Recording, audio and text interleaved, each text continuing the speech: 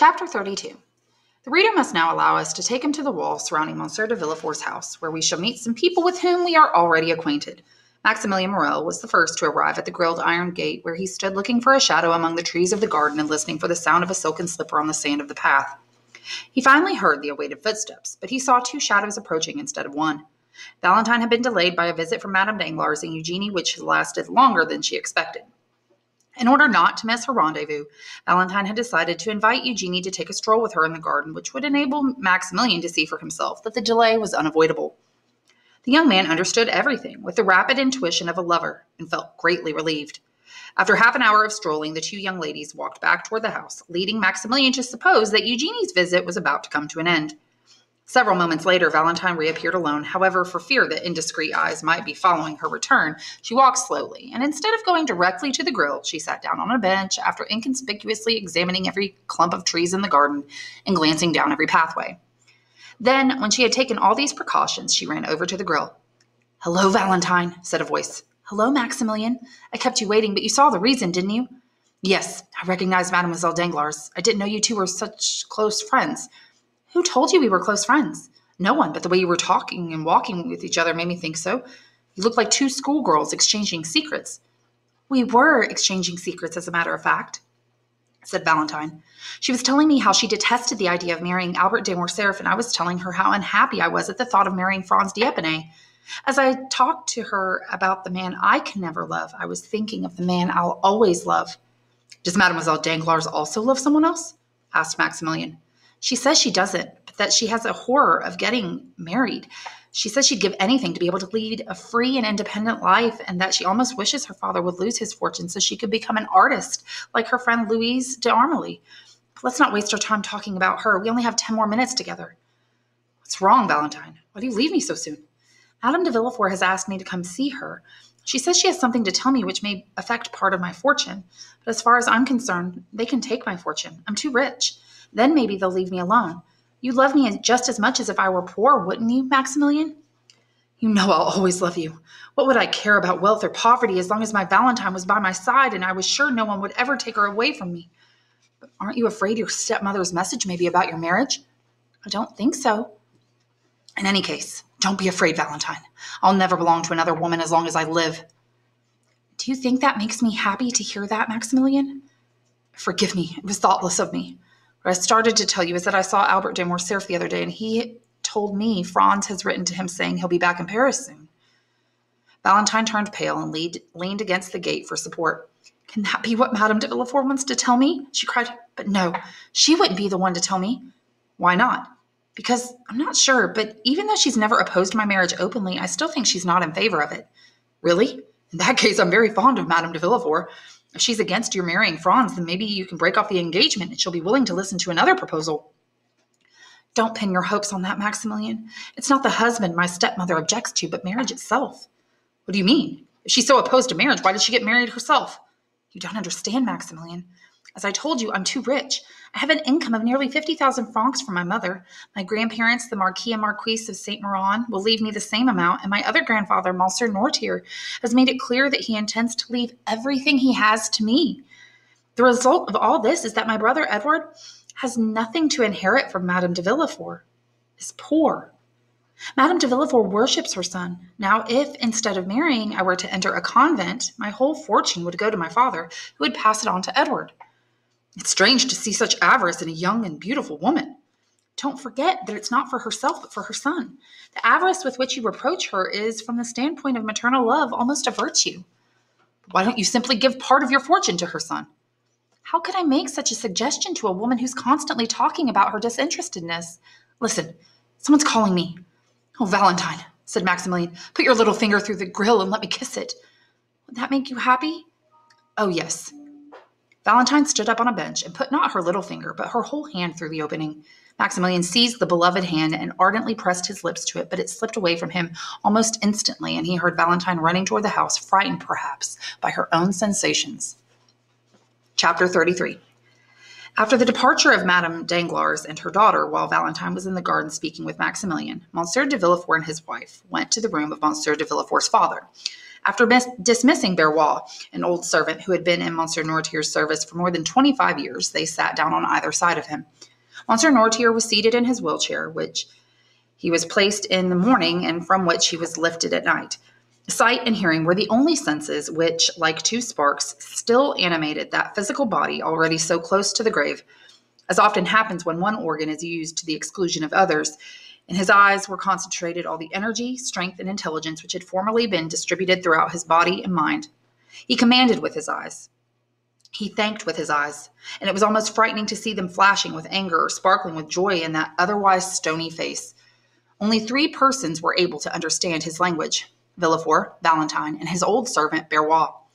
But since Villefort saw his father only when absolutely necessary, all the old man's happiness lay in his granddaughter and through devotion, patience, and love, Valentine had, had come to be able to read all his thoughts in his eyes.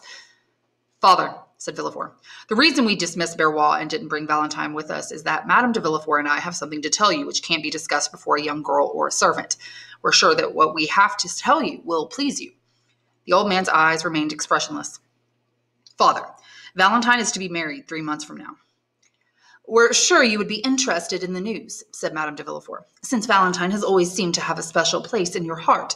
The young man we've chosen for her has a sizable fortune and an honorable name, and his conduct and tastes are such as to guarantee her happiness. Furthermore, his name is probably not unknown to you. He's the Monsieur Franz de Quesnel, Baron of Epinay. When Madame de Villefort pronounced this name, Noirtier's eyelids fluttered like lips trying to speak and released a flash of lightning. Villefort, who knew of the political enmity which had once existed between his father and Franz's father, understood this agitation quite well, but he pretended not to notice it and said, We haven't forgotten you in the arrangements, father. We've made sure that since Valentine returns your deep affection for her, her new husband will agree to have you come and live with them, so that you will have two children to look after you instead of one. Something frightful was taking place in the old man's soul. A cry of pain and rage must have risen in his throat and, unable to burst forth, choked him, for his face had turned almost purple. Monsieur de Epinay and his family are also pleased with the marriage, said Madame de Villefort. His family, by the way, consists only of an uncle and an aunt. His mother died in giving birth to him, and his father was assassinated in 1815 a mysterious assassination at a Villefort, whose authors have never been discovered, although suspicion has hung over a number of people. The real criminals would be lucky to be in our place, to have a daughter to offer to Monsieur Franz d'Epinay in order to allay the last shadow of suspicion. Noirtier had mastered his feelings with a strength whose existence one would not have suspected in that shattered frame. Yes, I understand, his eyes said to Villefort, and his look expressed both profound scorn and intelligent anger. Villefort clearly understood this look and answered it with a slight shrug. Then he motioned to his wife to stand up. We must go now, said Madame de Villefort. Shall I send Edward to pay his respects to you? It had been arranged that the old man would express assent by closing his eyes, refusal by blinking them several times, and a desire for something by looking up at the ceiling. If he wanted to see Valentine, he would close his right eye only. If he wanted Barrois, he would close his left eye. At Madame de Villefort's suggestion, he blinked his eyes energetically. She bit her lips in the face of this obvious refusal and asked, Shall I send Valentine then? Yes, said the old man by closing his eyes instantly. Monsieur and Madame de Villefort bowed and left the room.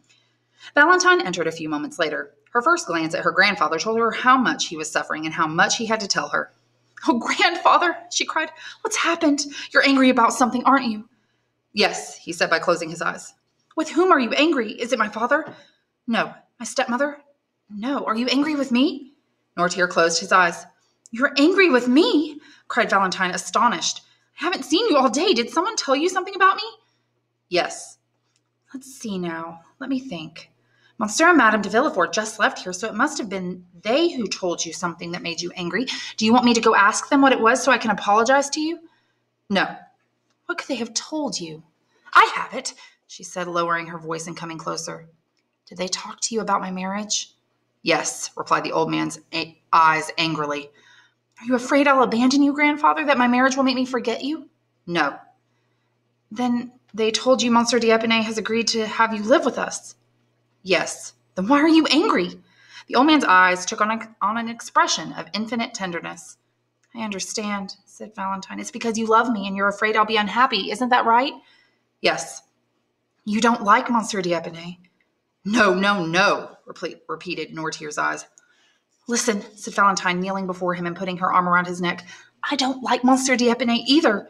A sparkle of joy appeared in his eye. Oh, if only you could help me break off the marriage, continued Valentine. You would have been such a powerful protector for me before your misfortune, but now you can do nothing except understand me and share my happiness and sorrow.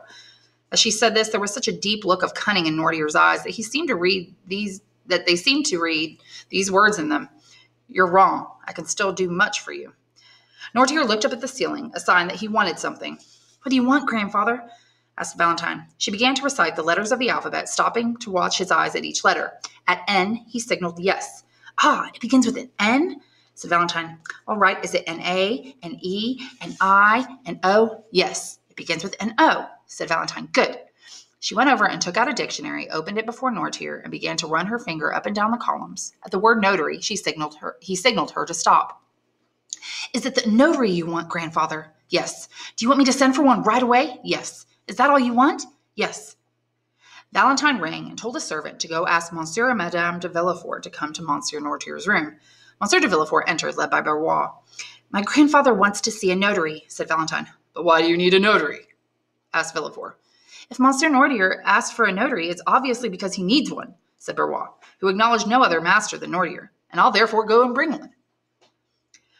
You shall have a notary if you insist, said Villefort to Noirtier, but I'll apologize to him for you, for both you and myself, because it will make an extremely ridiculous scene. Just the same, said Barrois. I'm going to go bring one. And the old servant walked triumphantly out of the room. Villefort sat down and waited. Noirtier watched him with complete indifference, but out of the corner of his eye he had ordered Valentine to remain also. Three quarters of an hour later, Barrois returned with a notary. You have been sent for by Monsieur Noirtier de Villefort here said Villefort after the first exchange of greetings with the notary. His paralysis has deprived him of the use of his limbs and his voice. It's hard for us even to grasp a few scraps of his thoughts. Noirtier appealed to Valentine with his eyes, an appeal so serious and imperative that she immediately said to the notary, I understand everything my grandfather wishes to say. It's true, added Barrois. Everything, absolutely everything, as I told you on the way here. Monsieur Noirtier closes his eyes when he wishes to say yes and blinks them several times when he wishes to say no, said Valentine. And however difficult it may seem to you to discover his thoughts, I'll demonstrate it to you in such a way that you'll have no doubts on this subject. Very well, then, said the notary. Let's try it. Do you accept this young lady as your interpreter, Monsieur Noirtier? Yes, signaled the old man. Good. Now, why did you send for me? Valentine named all the letters of the alphabet until she came to W, where Noirtier's eloquent eyes stopped her. Then she began to ask him, W A, W E, W I. He stopped her at the third syllable. When he she opened the dictionary under the notary's attentive eyes. Will, said her finger, stopped by Noirtier's eyes. Will, exclaimed the notary. Monsieur Noirtier wants to make his will. It's quite clear. Yes, signaled Noirtier several times.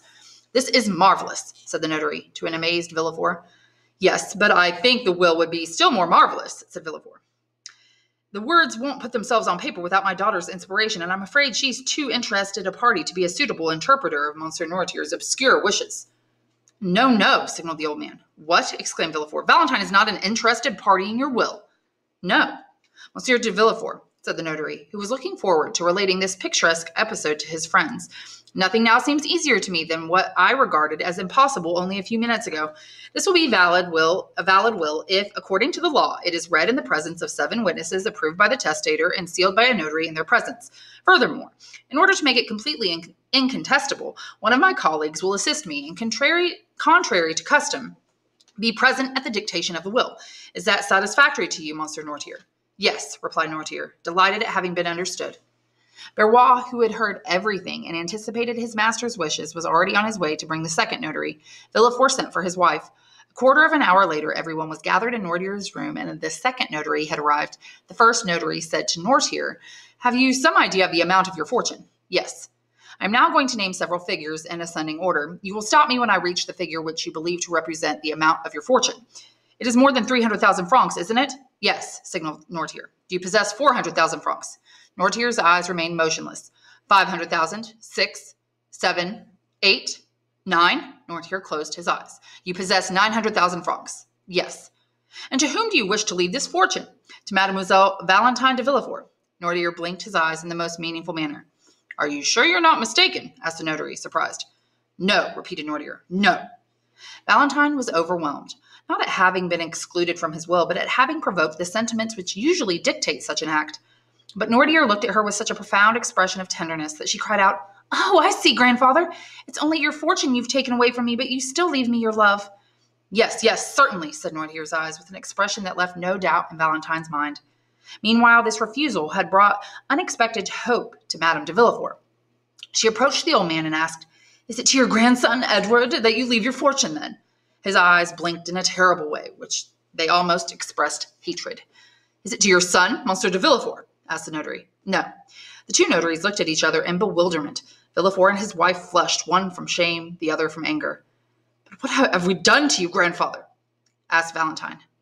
Noirtier fixed his gaze on her hand. My hand? she asked. Yes. Oh, you see how useless it is, gentlemen, said Villefort. My poor father is mad. Oh, cried Valentine suddenly. I understand. It's my marriage, isn't it, grandfather? Yes, yes, yes. You're angry at us for marriage, aren't you? Yes. You don't want me to marry Monsieur Franz D'Epinay, do you? No. Are you disinheriting your granddaughter because she's about to marry against your wishes? asked the notary. Yes. And what you do in what do you intend to do with your fortune if Mademoiselle de Villefort marries Monsieur d'Epinay? Will you leave it to some other member of your family? No. Will you leave it to the poor then? Yes. What is your decision of this in view of this, Monsieur de Villefort? asked the notary. Nothing.